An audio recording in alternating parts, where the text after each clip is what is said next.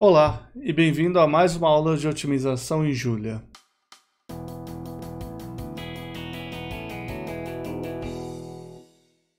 Hoje é a primeira aula de otimização linear, onde a gente realmente vai entrar no assunto.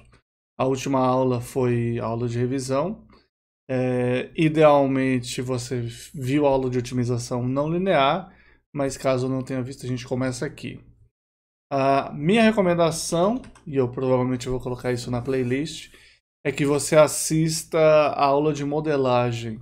Embora ela seja para otimização não linear, é, ela começa com otimização linear. E eu vou fazer aqui, inclusive, uma parte daquela aula. Então vamos lá. Mudar de tela.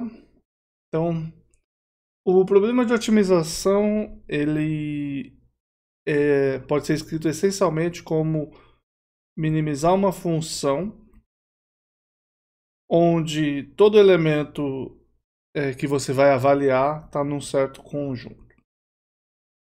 Tá? Então essa função é o seu objetivo e esse conjunto são suas restrições. Tá?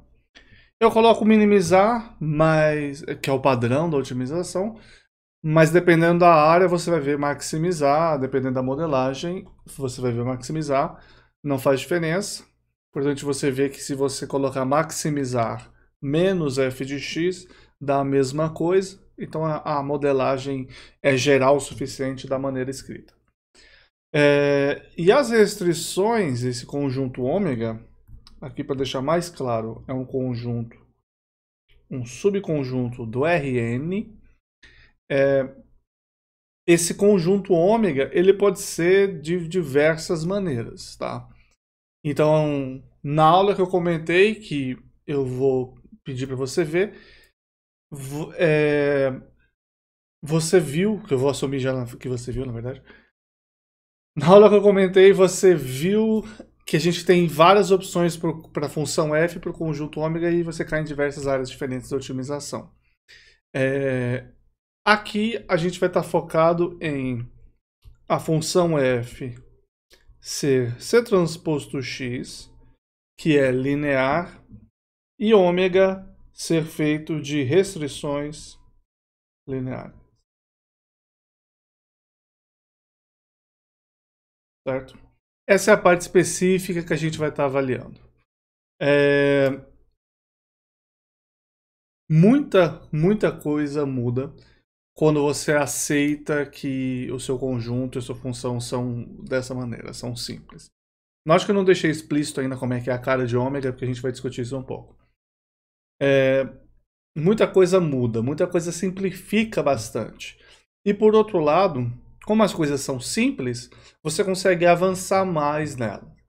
Então, não é porque a área é simples de você escrever que ela vai ser muito mais rasa. Otimização não linear, por exemplo, a gente passa muito tempo na base para poder chegar em alguma coisa. E aqui, otimização linear, você começa com. toma um monte de coisa já, mas para você aprofundar é muito difícil. Tanto é que os melhores é, algoritmos até hoje continuam sendo feitos pelas mesmas pessoas, mais ou menos. Claro, tem algumas versões livres, mas os grandes competidores são os mesmos há um tempo já. Porque para você fazer uma coisa nova, você tem que passar por toda a parte anterior e é muita coisa, tá? São 30 anos de melhorias e tudo mais. Espero que a gente consiga fazer um pouco desse estudo juntos. É, eu não sei as coisas muito avançadas dessa área e é uma das motivações que eu tenho para fazer essa disciplina é estudar essas coisas avançadas, ok? Vamos ver até onde a gente vai. Bom, beleza. Uh, a ideia é que a gente tem restrições lineares. Então, o que eu quero dizer com restrições lineares? Tá? Primeiro, uma função linear é isso aqui. Linear em x. É linear em c também, mas isso não faz diferença. A nossa variável é o x. O que, que quer dizer linear? Eu falei na última aula, o gradiente da função é uma constante. Mas o que é mais importante é você perceber que linear é se você coloca o dobro de algo, você recebe o dobro do resultado. Certo? Metade. Quer dizer, metade. E assim por diante. Cinco vezes mais quer dizer cinco vezes mais o resultado. O que isso quer dizer? Você vende uma cadeira a 30 reais. Se você vender duas cadeiras, elas vão estar, é, vão te dar duas vezes 30 reais, 60 reais. Mas você não vende meia cadeira, certo? Essa é uma diferença importante. Se você tem um, alguma coisa com peso, é, sei lá, quilo de farinha, você pode colocar um quilo, 500 gramas, que é meio quilo, 200 gramas, 0,2 quilos e assim por diante. Então você tem essas medições em níveis diferentes. Vai fazer uma ração, coloca tantas gramas de, é, vamos dizer, de osso sei lá, tantas gramas de osso vão te dar tantas gramas de proteína. Se você dobrar o número, a quantidade de osso, você vai ter o dobro da quantidade de proteína. Você triplicar a quantidade de osso, você vai ter o triplo da quantidade de proteína. Então você tem uma dependência direta da quantidade com o resultado, tá? Então essa quantidade direta é extremamente importante. Então, quando a gente está falando linear, a gente está falando isso, tá? Então isso quer dizer do termo matemático que você tem uma constante vezes o valor. Tá? Ou para ser mais exato ainda, você pode pegar esse valor x, você tem alfa x, para um alfa dado qualquer. Tá? Você pode calcular essa conta e acrescentar no seu resultado. Note que eu falei do caso da cadeira. Meia cadeira não vale. Então esse problema de otimização não é linear. Isso é verdade. Mas tem uma área muito ligada à otimização linear, que é a otimização inteira e a inteira mista. E aí a gente precisa de toda a parte linear para falar da parte inteira. E o que a gente vai fazer agora no começo, quando a gente for falar de exercícios, quando a gente for falar de exemplos, é assumir que esses exemplos, que são inteiros na verdade, são lineares. E a gente vai ver depois que faz muita diferença essa simplificação e que na prática você não pode fazer ela. Mas para os exemplos simples a gente vai fazer, tá? Inclusive, vejam os vídeos de modelagem jump que eu tenho, onde eu expando um pouco sobre isso. Ok. Então o que eu estou pensando aqui, linear em x. Tem um vetor O, eu tenho o vetor A do Rn. O que, que eu posso fazer com esse vetor A e com o vetor x que vai ser linear? A transposto x. É isso. E o que, que eu posso fazer com isso que me dá restrição? Eu posso fazer três coisas. A transposto x maior ou igual a 1b. A transposto x igual a b e A transposto x menor ou igual a B. É isso que a gente vai ter no nosso problema. A gente vai ter uma minimização de um C transposto x, que pode virar maximização, não faz diferença, e um monte de coisas que são ou coisa linear em x maior ou igual a b, coisa linear em x igual a b, coisa linear em x menor ou igual a b. Um monte desses, tá? Ok, vamos começar com um exemplo. Você já viu esse exemplo, se você realmente assistiu aquele vídeo. É o exemplo de Alice e Bob, dois ex-alunos, que desistem de tudo e vão vender a arte na praia. Então o que eles fazem? Eles vão para a praia, eles é, compram miçanga e eles vão fazer pulseiras e colares de miçanga. Tá? Então você tem pulseiras e colares. Ok, as pulseiras. Ok, que artístico. E os colares. Eles têm preços de venda diferentes. Aqui os valores são irrelevantes, o importante é só colocar algum número nas coisas. Vamos dizer que ele tem 20 reais cada pulseira, 50 reais cada colar. E eles têm custo de material diferente. Então aqui o material. É... Vamos falar que aqui vai gastar 50 miçangas e aqui vai gastar 120 miçangas. Além disso, você tem o tempo de preparo. Aqui o material é em miçangas, tá? É, o, é a unidade miçangas.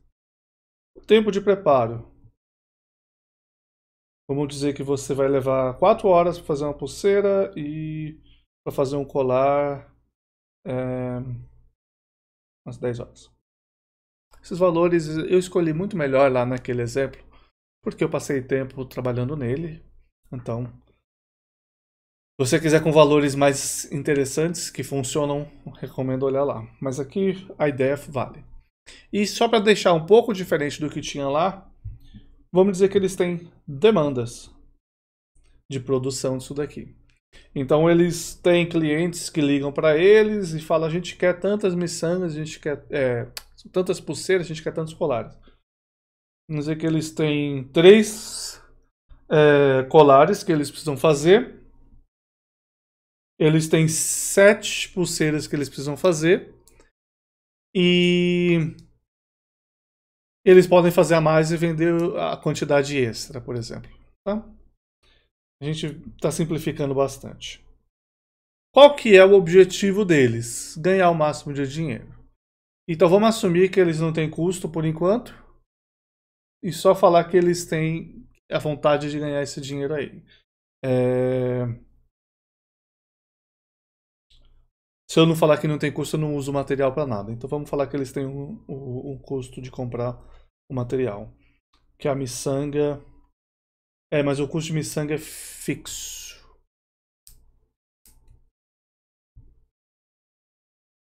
É... O que eu estou fazendo aqui, inclusive, é exatamente como eu preparo minhas aulas, tá? Eu planejo só por cima e aí eu vou deixando os detalhes para ir preenchendo depois, que eu acho mais interessante. Então o que eu quero fazer é, eu tenho um limite de tempo, eu tenho, eu tenho demanda mínima para ser satisfeita eu tenho gasto de material também, mas eu não tenho limite de material. Então, então a nossa simplificação vai ser que eu tenho uma quantidade máxima de material que é 600 miçangas. Pronto. É uma simplificação e deixa a gente fazer alguma coisa. Então vamos lá. Eu vou dizer que a quantidade de miçanga que eu vou produzir é, desculpa, a quantidade de pulseira que eu vou produzir é um XP. E a quantidade de colar que eu vou produzir, XC. Tá? É isso daqui que eu quero fazer. O, o meu objetivo é maximizar o meu lucro. Isso quer dizer a quantidade que eu ganho quando eu vendo a pulseira. E essa é 20 vezes o XP e 50 vezes o XC em reais. Quais são as restrições que eu vou colocar? Eu vou dizer que eu tenho uma restrição de tempo de 40 horas cada um deles. Então eles têm 80 horas na semana para trabalhar. Eu tenho limitação de material que eu coloquei de 600 miçangas. E demanda não é uma limitação, é um requisito de de atendimento. Então, minha restrição. Primeira restrição é que eu tenho limite de miçanga. Então, meu limite de miçanga. Vou colocar assim que eu tenho dois. Meu limite de miçanga. Olha, para cada produto que eu tiver, eu vou gastar 50 miçangas e 120 miçangas para pulseira e colar, respectivamente. Então eu vou ter 50 vezes o número de pulseiras que eu, que eu fizer e 120 vezes o número de colares que eu fizer. Essa é a quantidade total de miçanga que eu tenho. É... Veja que se você fizer as unidades, isso pode ajudar um pouco a você chegar onde você quer. O material que eu gasto é por pulseira e por colar. Então é miçanga por hum, produto. E aqui o XP e o XC são os produtos. Então se eu fizer 50 miçanga por produto vezes XP, que é o produto, sobra miçanga. Então eu sei que 50 XP mais 120 XC está na unidade de miçangas. Então isso é limitado pelas 600 miçangas que eu tenho. Ok? Note que eu, eu, deixa eu ver se ele atende a demanda. 3 vezes 120 dá 360. E 7 vezes 50 dá 350. Então esses 600 que eu coloquei já não funcionaria. Vamos arrumar, vamos colocar 800. Okay. Inclusive, se eu colocar 800, ele atende justamente a, a, a demanda é apenas isso. Vamos colocar 2.000 logo. Fica interessante. Pronto. Então isso aqui eu posso apagar. Então o limite de miçangas que eu tenho é esse. Eu tenho até 2.000 miçangas para usar e a quantidade que eu vou usar é essa. Minha outra restrição é o limite de tempo.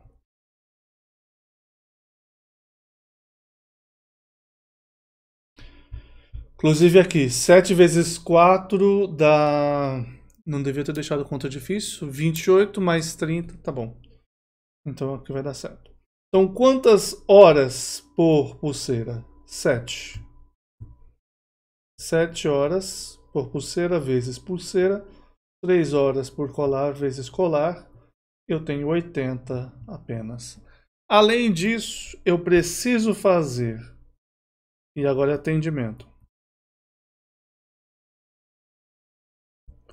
eu preciso fazer sete pulseiras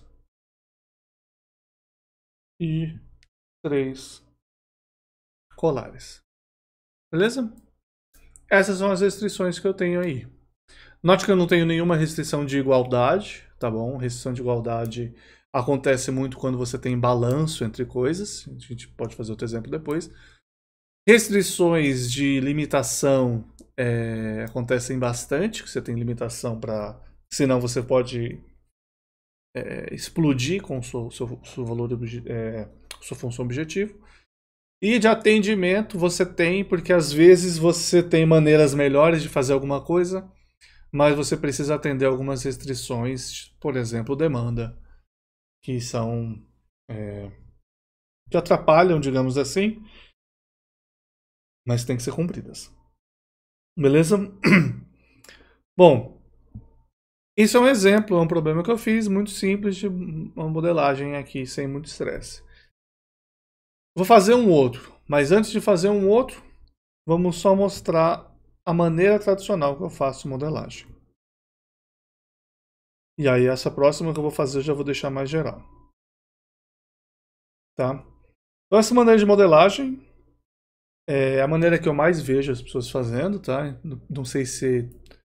De novo, só explicar uma coisa. Não é simplesmente modelagem, se você buscar modelagem ou modelagem matemática, não é suficiente, tá?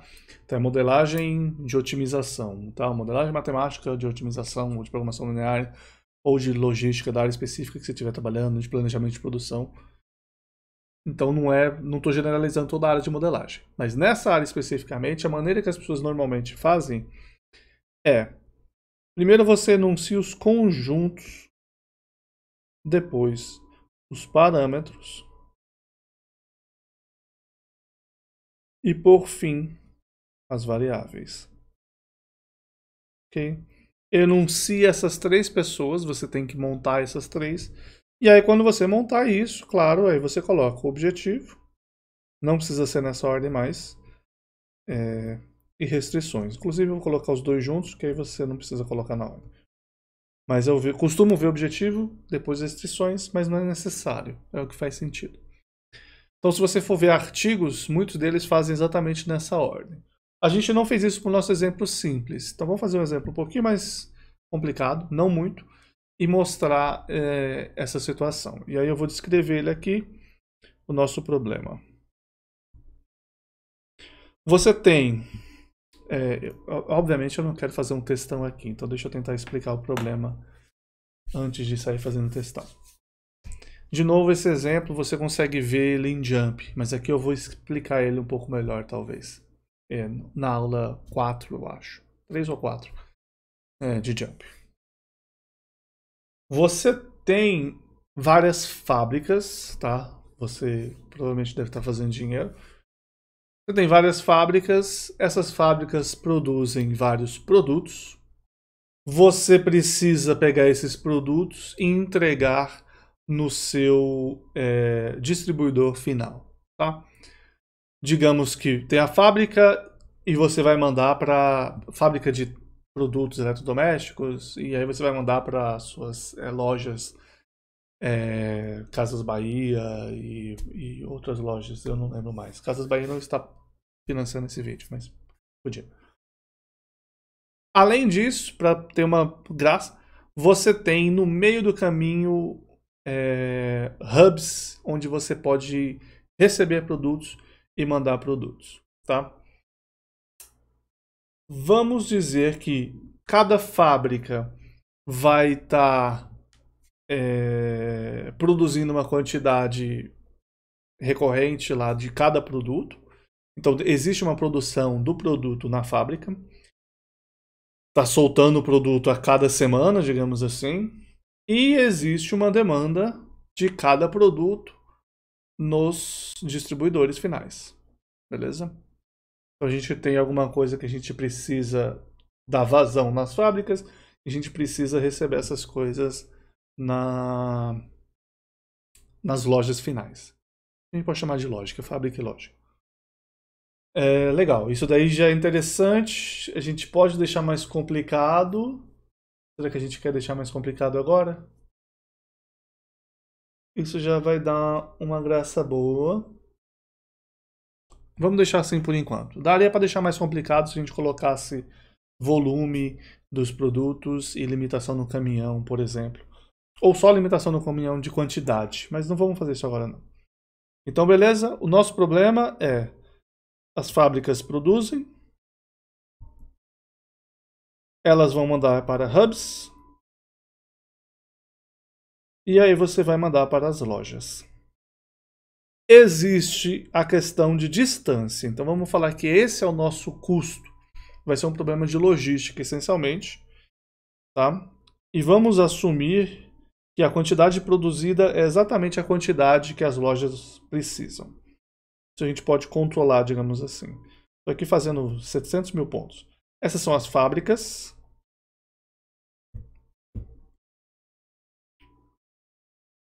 Você tem hubs, tá? São pequenos diamantes. E você tem as lojas finais. É, vou fazer X.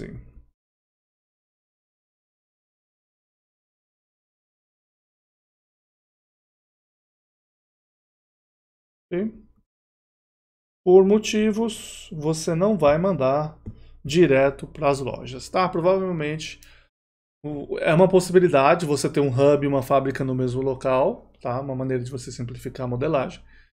É... Mas a priori a gente tem a fábrica que vai produzir uma quantidade gigantesca, vai mandar para a hub e a hub vai distribuir para uma quantidade grande de lojas. Então, se a fábrica tivesse que mandar em caminhões menores, ia ser pior. Você tem caminhões muito grandes, containers, por exemplo, e mandam para os hubs. Os hubs abrem aquilo e colocam em furgões para as pessoas, beleza?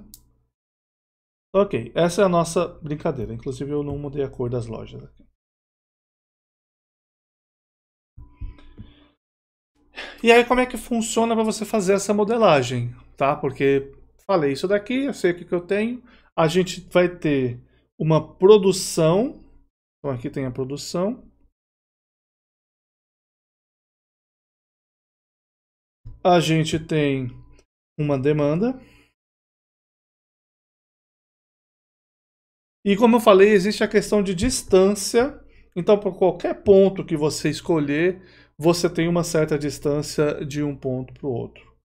É, eu vou marcar de azul os que interessam. A gente tem de cada ponto a, branco, a cada círculo branco, cada fábrica, para cada hub, para decidir se vai mandar para lá ou não. Certo? De onde vai mandar. Eu não estou colocando todos eles, só alguns. Aí você tem, depois da, que ele receber no hub, para cada um dos clientes onde ele vai mandar. Certo? Uma coisa que você poderia fazer se esse problema fosse real é realmente ignorar alguns dos clientes. Se a distância é maior do que 2 mil quilômetros, eu obviamente não vou ser responsável por aquele cliente. Então você tem zonas além, além disso. As zonas vão ter interseção, senão você não precisaria decidir nada. É... Então a gente tem para cada fábrica e cada hub, então para uma fábrica e um hub que você escolher qualquer, existe uma distância. Para cada hub e cada loja, existe uma distância. Nosso objetivo é percorrer a menor distância total, somando todas as distâncias percorridas. Beleza? É... E a gente vai dizer que, por motivos, isso depende por produto. Então, se eu mandar dois produtos e mandar três produtos, isso tem diferença, mesmo que o caminhão vá só com dois produtos. Tá? Isso, de novo, uma simplificação. Então, se eu mando dois produtos, se eu tenho um custo de distância e para um produto, eu mandar dois é o dobro do custo, mandar três é o triplo do custo e assim por diante. Então é linear nessa distância. Fantástico. Então como é que eu faria agora? Sabendo as coisas que eu tenho, eu ia começar a colocar alguns índices, tá? Então, que é o que eu falei primeiro, você tem os conjuntos. Então, eu tenho várias fábricas. Então, eu sei que eu preciso de um conjunto de índices para as fábricas. Então, vamos lá, conjuntos. Na prática, você vai e volta, vai e volta, até você chegar na modelagem correta. Aqui, talvez, por eu já ter experiência, eu acabe achando já de primeira, mas eu não garanto. Eu vou dizer que eu tenho um conjunto de fábrica. Se você está num software específico, você às vezes consegue dar nome para cada uma delas. Aqui a gente vai fazer o mais simples, que é dar número. 1 até o máximo. Então você vai ter um conjunto de fábricas, que eu vou usar um F caligráfico, mal feito. Esse conjunto é dado por 1, 2, até um valor máximo aqui, que eu vou colocar com N maiúsculo, é fino. E eu vou dizer que a gente vai usar o índice I.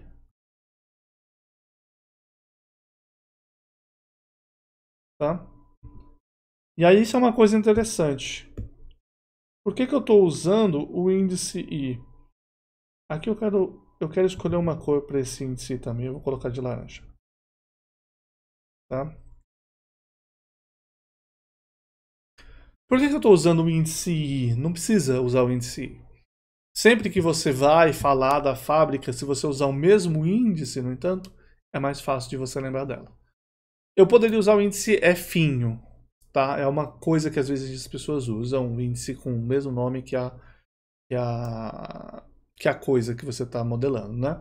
No caso, fábrica, você usa Finho. Mas eu evito usar os índices que não são os mais tradicionais. Então, I, J, K, L. É, eu costumo usar S, T às vezes. E T é tempo, é sempre bom.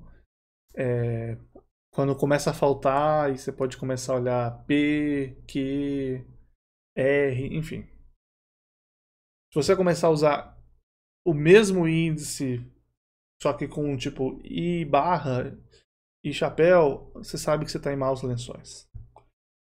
Aí você tem que começar a fazer como se fosse uma linguagem de programação e colocar um nome maior para as coisas. É, é uma possibilidade. Então, primeira fábrica, segunda coisa, hubs.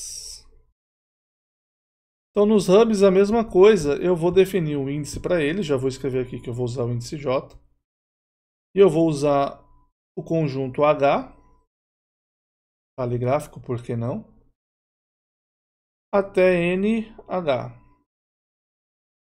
Então, vou usar I, J e, claro, para as lojas, eu vou usar o índice K. K pertencente a L caligráfico. O H e o F eu fiz mais ou menos mal feito, mas o L eu tenho mais prática de fazer caligráfico. Beleza?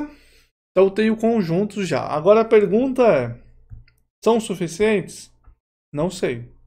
A priori, eu não sei. Eu vou continuar modelando, se não for eu volto.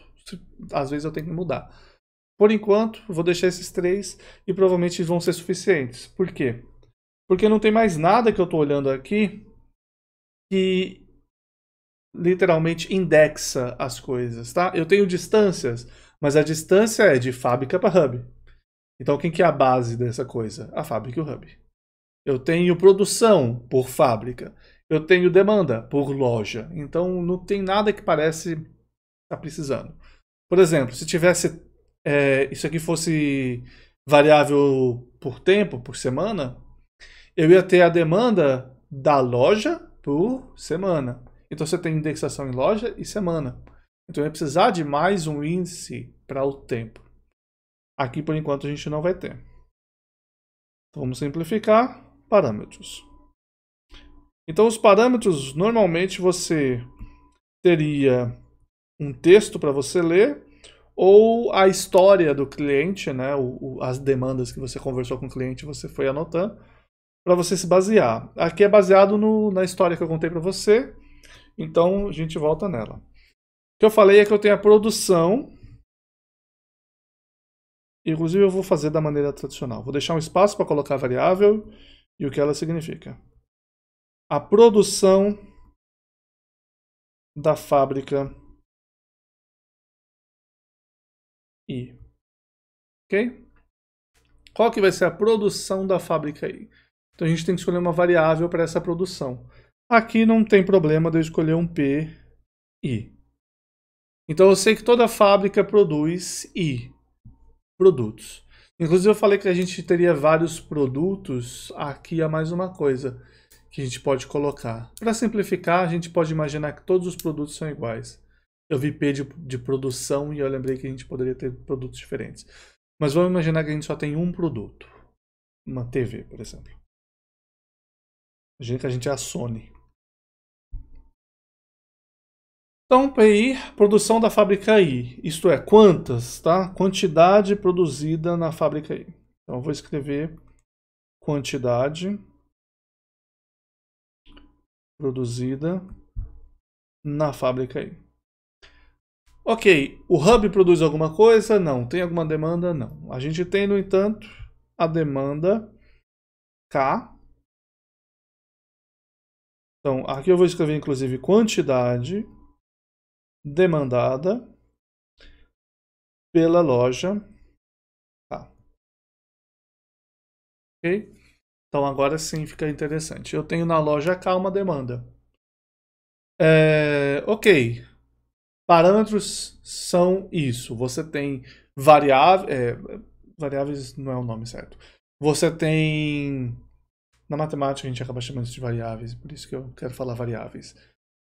Mas você tem letras, você tem descrições das coisas que você vai usar no seu modelo. Aqui, PI quer dizer que ele é indexado em um índice só. É, uma, é um vetor. DK é indexado em um índice só é um vetor. Eu poderia ter indexação em vários índices. Inclusive, eu vou ter agora um desses. Que é, qual que é a distância que eu vou percorrer de cada fábrica para cada hub. E aí eu vou usar C para essa distância. Tá? vou inclusive deixar esse C aqui. Então a distância da fábrica I para o hub J. Tá? Então, qual que é a distância dessa fábrica aí para esse hub J? Então, essa distância vai depender do IJ. É uma matriz. É um CIJ. A mesma coisa para a distância da, no caso do hub J para a loja K. Não posso usar C de novo, porque C já foi usado. Se eu escrever CJK, ah, mas o índice é diferente. Não, não pode. É, é, pensa que é igual a computação. Se você colocar o mesmo nome para variável, vai dar erro. Embora você esteja indexando diferente, não vai funcionar. Uma alternativa é você dar C0, por exemplo, C1 e C2. Foi o que eu fiz na, no vídeo lá. Aqui eu queria fazer alguma coisa um pouco diferente para não ficar. Hum. Então eu vou deixar C e E, porque eu já usei E ali em, D ali em cima. E não é IJ, é JK. Ok? Vamos lá. O que, que eu preciso descrever? Eu preciso descrever quanto que a fábrica produz, eu preciso descrever quanto que a loja demanda, eu preciso descrever a distância da fábrica para o hub e do hub para a loja. Eu tenho essas quatro coisas. Tenho mais? Por enquanto não consigo lembrar de mais nada. Talvez seja só isso. Definir isso daqui tudo, eu tenho que definir as variáveis. Variáveis, também chamadas de variáveis de decisão, são as variáveis que eu preciso decidir. Tá? Por que a gente fala variáveis? E se você escolher valor para elas, você tem uma. Não vou falar resposta, solução seria o nome que a gente vai ver que é o nome é, real pra, pra, na área para isso, apesar de não ser a solução do problema, é uma solução. Acho que a maneira mais correta de falar é que você teria uma proposta. Tá? Então, se você chegar hoje na empresa e você for ver o que eles estão fazendo, você vai perguntar: e aí, o que você vai produzir essa semana? Ele vai te falar: ah, vou produzir isso daqui. Como é que você decidiu? Ah, eu, a gente pegou o que a gente produziu semana passada. É, produzir, não, desculpa para onde você vai mandar as coisas e onde você vai receber elas. Ah, a gente vai fazer assim, vai mandar tudo para esse hub, esse hub manda para essas lojas. Como é que você decidiu? Ah, a gente foi olhando no passado, cresceu assim e ficou assim. Então, funciona, certo? Isso quer dizer, satisfaz a demanda, a, satisfaz a produção, vai dar um custo. Então, isso daí é viável, não quer dizer que é ótimo. Tá? Então a gente tem essas coisas que a gente pode colocar no nosso programa e ver exatamente o valor que daria. Tá? Se você falar, faz esse caminho, quanto que eu vou gastar? Você consegue ver o valor. Então, por isso que são variáveis, são variáveis nesse sentido. É uma função que depende dessa variável. Tá? E ela é de decisão porque você vai decidir elas otimizando. Então, quais são as variáveis de decisão aqui? As variáveis de decisão são. Primeiro, eu estou produzindo um monte de coisa na fábrica I. Eu preciso pegar toda essa produção e mandar para hubs. Eu não necessariamente preciso mandar para um hub só. Então, se estou produzindo 100 produtos, eu posso mandar 20 para um hub, 30 para o outro, 50 para o outro. Desses hubs, eles podem pegar e quebrar mais vezes. Então, eu tenho a produção total sendo dividida para vários hubs. Todos os hubs, se você considerar que zero pode ser incluído. Então, eu preciso ver a quantidade que eu vou mandar para cada hub. Então, a quantidade que a fábrica I manda para o hub J. Então, essa é a primeira coisa que eu preciso decidir. Quantidade é, de produto da fábrica I para o hub J. E eu vou dar um nome tradicional X. X e J. Então esse X e J é a quantidade de produto, vai de I para J. E naturalmente a outra quantidade que eu preciso de, de mandar é, decidir é a quantidade de produto do hub J para a loja K. E aqui eu vou chamar de YJK. Pronto. Essa é a descrição tradicional na ordem que a gente está fazendo. Preciso decidir mais alguma coisa agora? Não. Nessa versão do problema que a gente está atacando, não. É só isso. Agora, o modelo em si. Então, qual é o meu objetivo? Então, de novo, qual que é o objetivo do, do cliente? Que ele gaste o mínimo possível com transporte. Então, o gasto que a gente combinou era que cada produto que eu mandar por uma rota vai ter um valor proporcional à distância daquela rota. Tá? Se essa proporção é a mesma para todas as rotas, você pode ignorar qual o valor da proporção, que é o que a gente vai fazer, e multiplicar exatamente pela distância que você está percorrendo. Então, se eu mando a fábrica 1 para o hub 1, a quantidade de produtos que eu mandar nessa rota tem que ser multiplicada pelo tamanho, pela distância dessa, dessa rota. Ok? Então, eu tenho que, se eu mando do fábrica 1 para o. Aqui eu vou apagar depois, tá? Da fábrica 1 para o hub 1, tem que multiplicar pela distância do 1, a distância era o C. Do 1 para o 1. Se eu mando da 1 para 2, tem que multiplicar pela distância da 1 para 2. E assim por diante.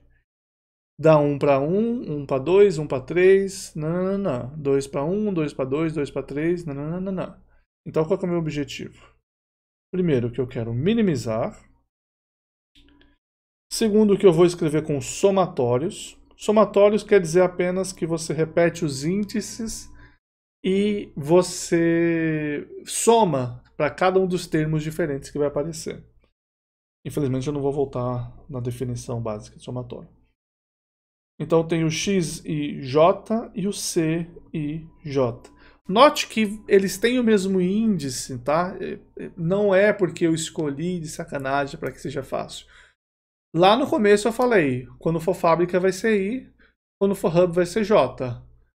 A coprodução que vai ser enviada é, da fábrica I para o hub J é o X e J. O custo da fábrica I para o hub J é C e J. Então eles combinam direitinho. Às vezes não fica tão claro. Tá? Aqui a gente está no caso muito, muito bom de escrever. Então o meu índice I ele pertence às fábricas, não sei escrever fábrica, caligráfico, e o meu índice J aos hubs, ok? Pronto, é isso que eu gasto mandando das fábricas para os hubs. Mais, literalmente mais, quanto eu vou mandar, pela mesma lógica que a gente acabou de descrever, de cada hub para cada loja aparecendo um 2. Ainda aparece um 2, mas enfim. JK e JK. Esse é o nosso objetivo, minimizar esse gasto. Veja, se você esquece o problema, não olha para o problema, olha só para cá, fala, vamos resolver esse problema aqui, minimiza isso. Qual é a solução? Primeiro, se você ignorar completamente tudo e só olhar para a variável x e y, inclusive vou colocar x e y aqui, você poderia colocar x e y menos infinitos. Então vamos, vamos resolver pelo menos um pouquinho que, ok, não pode ser infinito. É, tem que ser limitado em zero porque é uma quantidade, então não pode ser negativo.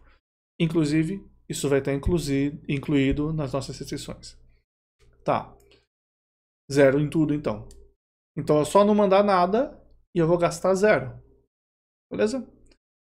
Esse é o motivo pelo qual você tem que atender a demanda. Porque senão você pode simplesmente não atender. Você não gasta nada, é mais barato. Certo? É mais barato não atender a demanda. Obviamente, se você não atende a demanda, você vai ter um outro custo em outro lugar. Esse outro custo em outro lugar não aparece aqui nessa modelagem. Então, por isso que tem a restrição da demanda. Ela está é, está impedindo de que você faça uma, uma coisa aqui e tem um motivo para ela estar tá embutida nesse problema. Então o objetivo é esse. Nossa próxima restrição. Nossa próxima não, né? Nossa primeira restrição é Vamos começar com atender a demanda, então. Atender a demanda do lado direito, então vamos começar com... É... Como é que eu vou falar isso? Vazão. Vazão da fábrica.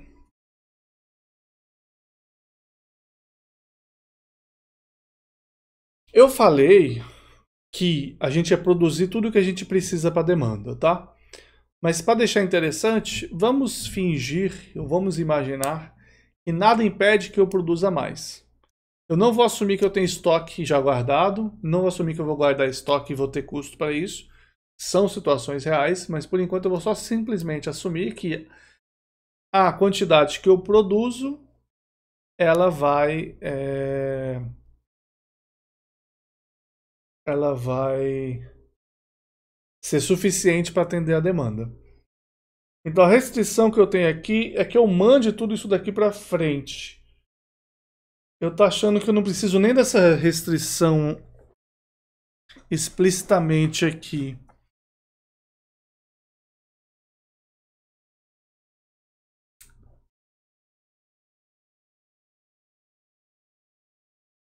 Vamos começar pela demanda.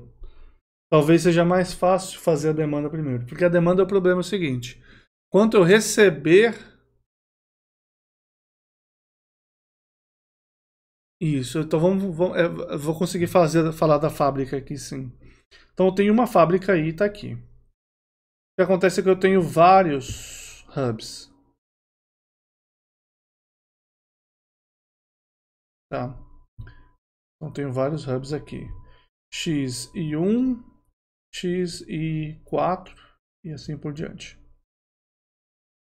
A quantidade que eu mandar aqui não pode ser maior do que o que eu produzo. Então essa aqui é a restrição. Ah, eu vou falar, coloquei vazão da fábrica, mas eu acho que agora eu tenho a noção de que eu tenho a limitação da fábrica. Não é nem a questão que eu quero dar vazão ao que eu produzo, é mais a questão de que eu não posso usar mais do que o que eu tenho. Se eu tiver uma fábrica muito próxima do, da, de, um, de um hub que atende muita gente, o ideal seria que a fábrica produzisse tudo. Mas pode ser que eu não tenha produção. Então eu vou dizer que a quantidade que eu somar aqui, certo? Então a somatória dessa produção X e J isso é para uma fábrica, então eu estou somando para todos os hubs que eu vou integrar. In... Calma. Para todos os hubs que eu vou entregar, não pode ser maior do que o quanto eu produzo nessa fábrica. Então eu tenho uma limitação da produção da fábrica. Não posso mandar mais do que o que eu tenho. Isso é para cada I das fábricas. Beleza? Então, isso é uma maneira muito comum da gente escrever restrição, tá? Toda vez que aparece um índice, aqui é a maneira correta de fazer. Toda vez que aparece um índice numa equação, ele tem que ter é, é, a referência. O J está no somatório. Então aqui eu não, não consigo apontar. Vamos usar o mouse.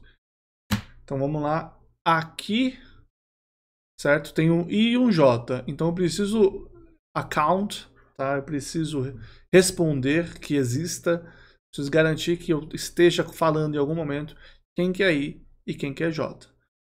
Falo, olha, estou somando para todos os J's. Então isso daqui expande para não ter J mais. Vira x e 1 mais x e 2 mais x e 3. Tananana. Então beleza, sobrou i aqui e aqui. Então tem que falar quem é I. É para todo I das fábricas. É importante falar. Poderia acontecer de uma fábrica ter estoque e outra não, então teria duas restrições diferentes. Limitação da fábrica quando tem estoque, limitação da fábrica quando não tem estoque. Então seriam duas restrições diferentes. seria duas, seria uma partição do conjunto F, tá? Não escreva uma equação, inequação no caso, sem falar, uma restrição, mais geral, sem falar quem que são todos os índices. A função objetivo também, né? Mas aí é mais fácil, eu acho. Então, a primeira coisa é essa. A segunda coisa é a demanda da loja. Então, a demanda da loja, por enquanto, a gente vai assumir que está tudo indo bem e que os hubs têm o que a loja precisa. Era verde, né? E a loja fala assim, eu preciso de 20 TVs. Aí o Hub 1 fala, toma 7. O Hub 2 fala, toma 5. O Hub 3 fala, toma 2. E assim por diante, até completar. Ok? Obviamente, a escolha vai ser feita a minimizar o custo de, de, de entrega. Né? Então, demanda da loja, essa daqui. Isso quer dizer que todas as hubs, o que eu somar do que a hub mandar para minha loja tem que satisfazer, logo ser maior que a demanda da loja. E aqui eu estou somando nos hubs de novo. Beleza? Aqui para todo K em é, L caligráfico. Então, para toda loja, eu vou mandar. É, vou mandar não. É, para cada loja, eu vou pegar tudo que os hubs estão mandando para ela para poder atender meus clientes. Beleza?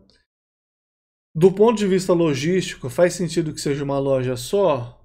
Beleza, até faz.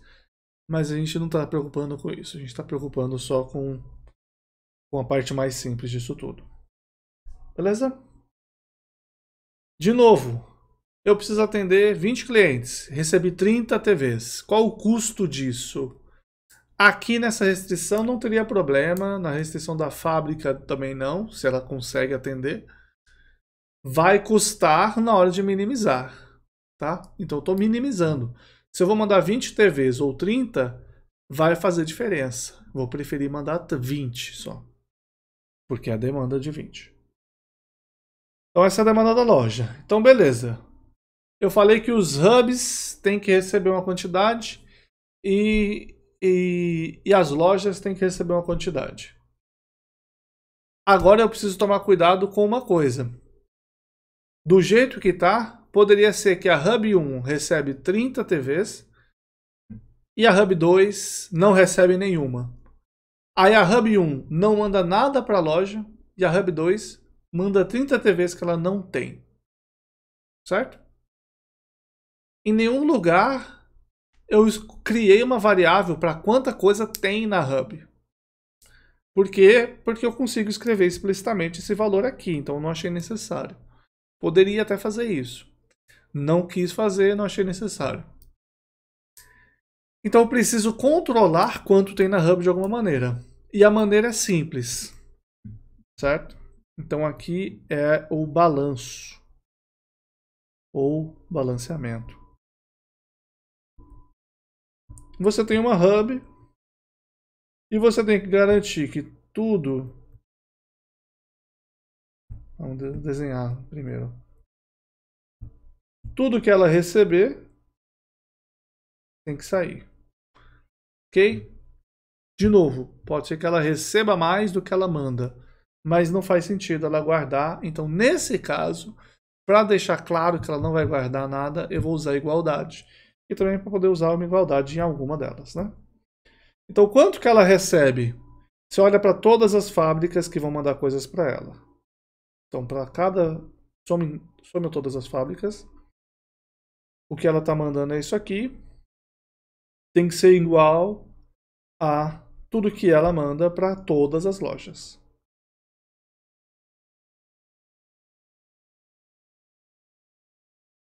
Isso para toda hub. Então, se você somar todo mundo aqui, certo? Então, estou passando o mouse aqui. Se você somar todo mundo aqui, tem que ser igual a todo mundo aqui. Pode ser que eu faça 5, 2, 2, 1 e aqui eu mande 2, 2, 2, 4. Ou algo assim, que eu não fiz a conta direito. Não, não faz diferença. Pode ser que eu receba é, 10, 10, 10, 10, 40, 0, 0, 0, 0. Certo? Se eu fiz conta certo. Você entendeu? Não importa. O que importa é que tudo que eu receber sai. A hub não fica com nada lá. O que, que é interessante? Quando você recebe e você pode estocar de uma semana para outra. E aí você tem um balanço com o estoque. Bastante comum também. Beleza. Recebo as coisas, produzo. Nada, nada até aqui é, é muito complicado. Parece que está fazendo tudo que eu preciso, exceto uma coisa que eu falei. Falei que a gente ia colocar, e a gente sempre coloca isso bem no final, em geral, que é a restrição de não negatividade. Muito comum a restrição de não negatividade. Algumas linguagens de modelagem assumem que as coisas são não negativas. Então, o que, que podia acontecer se eu não colocar essa restrição de não negatividade? Alguém vai lá e fala assim: olha, manda coisas negativas. Então você pega uma fábrica. É como se você estivesse mandando do hub para a fábrica, para a fábrica ter mais, para a fábrica mandar para outro hub, para o hub mandar para a loja. E, por exemplo, podia acontecer da, da loja mandar para o hub. Então é uma coisa estranha. Não negatividade. E a não negatividade é simples. O x e j tem que ser maior ou igual a zero para todo i no conjunto. Eu não sei escrever. No conjunto f, todo j no conjunto h. O yjk maior igual a zero para todo j em h e todo k em L. Okay? São opções. Uma coisa que a gente vai ver muito é, no lugar de escrever isso, a gente abusa a notação e escreve simplesmente x maior ou igual a zero, y maior ou igual a zero. Mas eles são matrizes. O que, que significa ser maior ou igual a zero? Elemento a elemento, tá? A gente escreve isso há décadas, de uma maneira simples. Esse é o nosso modelo. Beleza? Então esse aqui é o nosso exemplo um complicado, isso daqui foi lento de fazer, mas é uma coisa mais real com o modelo. A gente viu que tudo que, que a gente precisou, a gente já fez de primeira, porque eu já sabia o que era para fazer. Como exercício para você, eu deixo justamente essas questões a mais que eu comentei. Então tem várias coisas que você pode explorar a primeira delas é que eu quero fazer essa análise em várias semanas. Essa é a mais importante. Você tem a produção por. É, a produção pode fazer sentido que ela é sempre a mesma, certo? Essa produção por fábrica semanal. Sempre a mesma. E a loja tem uma demanda por semana e varia. Então aqui você faria essa demanda variável como? Você sabe que nos meses de março, abril, maio é, é assim, mas quando é perto do Natal é mais intenso. Então você tem como saber uma previsão de demanda é, é, em datas festivas, por exemplo. Então a sua demanda é variável. A produção é semanal, ela é limitada, a não ser que você compre mais máquinas, que é uma possibilidade, você não vai produzir mais. Pode produzir menos, mas não mais. Ok? Aí você tem semanas para decidir, então você precisa saber a cada semana quanto você vai produzir. Além disso, vamos assumir que você tem estoque.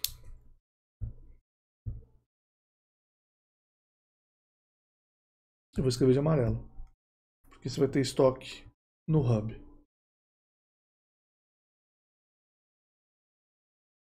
Então, uma coisa que você pode fazer, você tem estoque no hub, então você faz na fábrica, não tem estoque na fábrica, manda para o hub, você coloca no hub. Tem custo por produto, por unidade. Ok? E o que você pode fazer, deve fazer, né? Você quer fazer isso. Você tem o stuck né? Você tem o estoque da semana anterior, você vai usar nessa semana. Então, já estou te dando a dica de como é que você vai modelar isso. Como é que é o balanço agora? Você vai receber nesta semana da fábrica mais o que já tinha no estoque da semana anterior e vai sair. Tudo isso tem que sair para o hub nesta semana ou para o estoque desta semana. Esse é o balanço novo. Legal? É... é isso. Eu acho que isso daí já dá um grau interessante. Se você for ver o vídeo, já viu, você já vai ter, já vai estar sabendo essas respostas. Se você quiser uma coisa mais complicada que eu não falei, que você pode, ah, eu quero me divertir mais ainda. Considere então que você tem um gasto diferente. O seu gasto agora é se você, se você tem caminhões que você vai fazer da fábrica para o hub. Esses caminhões eles têm um custo é... como é que se fala? Tem um custo por caminhão, não é mais por produto, só que você tem capacidade. Então, se você usar o caminhão, você tem um custo. Enfim. 0 a 100 produtos, por exemplo, é um custo só. Se você não usar, zero. Usou, ele vai, vai pagar. Só que você tem limitação da quantidade. Ok? Então, pense nisso. Esse dá um pouco mais de trabalho para fazer e para modelar bastante também. Mas se você já viu os outros exemplos e quer alguma coisa mais desafiadora, pense nesse daí. Beleza? Bom, é isso. Se você fez o curso de Jump, você pode tentar criar uns exemplos básicos, é, uns valores de parâmetros aleatórios e modelar isso daqui e tentar otimizar para ver o que acontece, tá? Vamos parar por aqui por enquanto. Acho que esse é um bom fim da, dessa primeira aula. Na aula que vem a gente começa a falar mais sobre a parte matemática. Então a gente entra um pouco no AX igual a B da coisa, ok? Então, obrigado. Vamos vir para essa tela para aparecer gigante. Se inscreve no canal, deixe comentário se você ficou com dúvida em alguma coisa, se eu preciso fazer um vídeo explicando melhor alguma dessas partes. É... Avisa se deu tudo certo.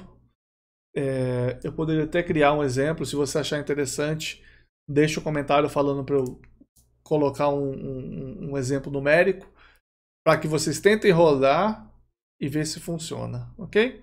Se gente suficiente pedir, eu faço. Beleza? Então é isso, obrigado. Até a semana que vem. Abraço.